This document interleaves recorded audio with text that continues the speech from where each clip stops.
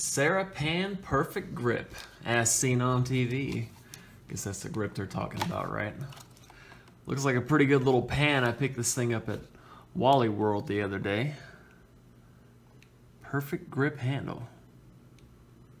Fits any hand, use your thumb. Okay, cool. Five times longer performance. Handles high heat, oven safe. And it comes with a nice little top too. Tempered glass lid with steam and silicone seal included. This is not a huge pan, so it's more for, I guess, smaller meals or whatever, or sides.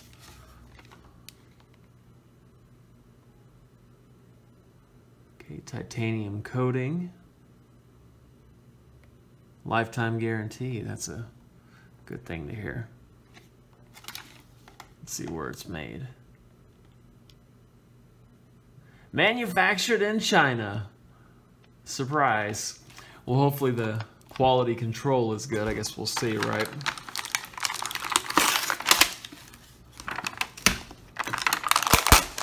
Got a lifetime warranty, so not too too worried about it.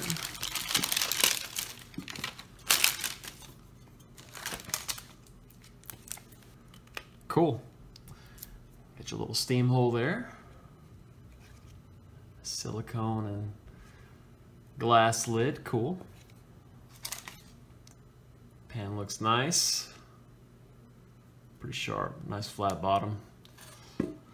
So I'm gonna clean this thing off real quick and I'm gonna cook a fancy meal and we'll see how it comes out. See, it's not too huge of a pan. That's about a pound of ground burger meat right there. Now I still used a cooking spray. I use olive oil myself.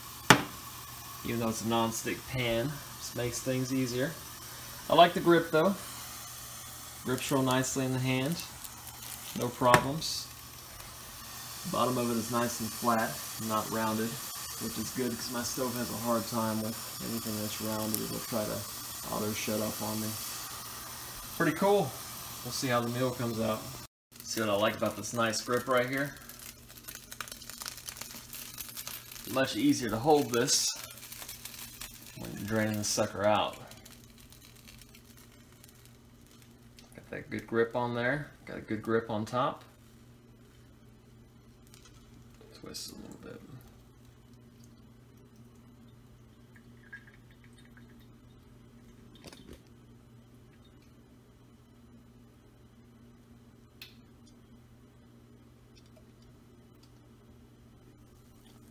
Works out nice.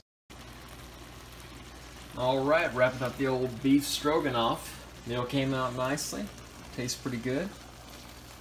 Some pans will make your food taste wonky from the uh, the coatings and whatnot on the inside, but there's no taste or anything weird here. Pan seems durable.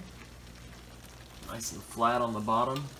Good handle, good top, good drain hole.